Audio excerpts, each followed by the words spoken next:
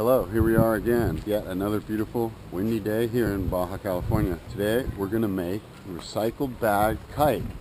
Check it out. We got our recycled bag, pair of scissors, pen, some cane wood for making the supports. We just split one of these here, a little bit of tape, and a tape measure. Start by cutting your cane wood in half. That's pretty good amount there. Cut the bag nicely.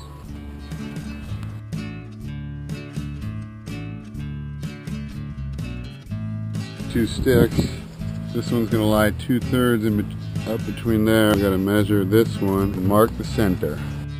Tape down the supports like that. Now I'm gonna trace the outline. And then cut. Support the cross section with a couple nice pieces. Double up on the nose here too. You will be putting your flying thread right through there. And then double up in this spot too, also for the same reason.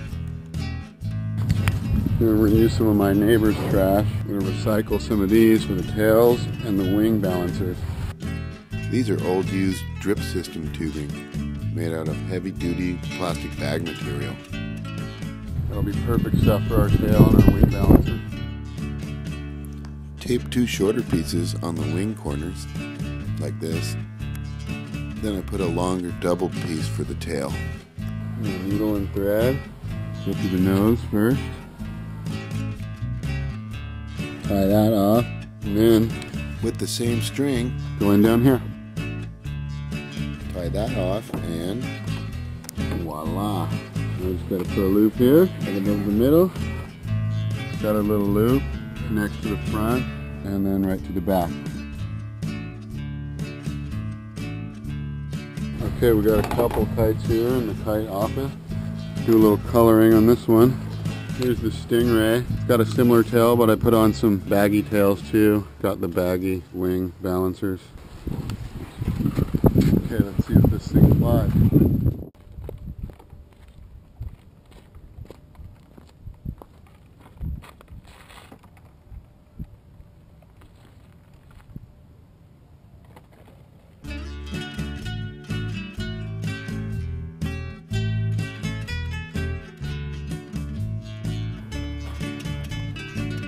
That's what you call a recycling bag.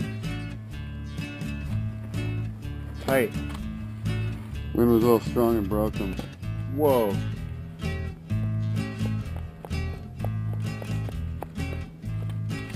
There you go. Recycling bag kite. Record high going on right here.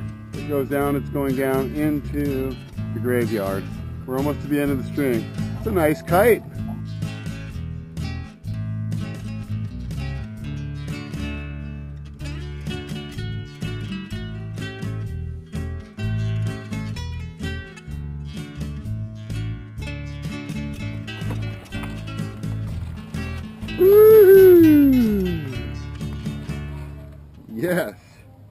Recycling bag kite. I love it.